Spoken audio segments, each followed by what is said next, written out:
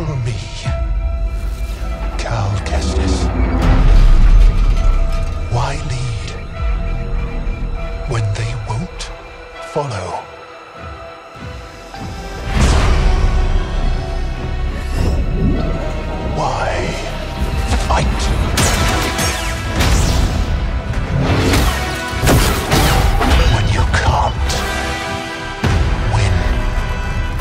What is your next move?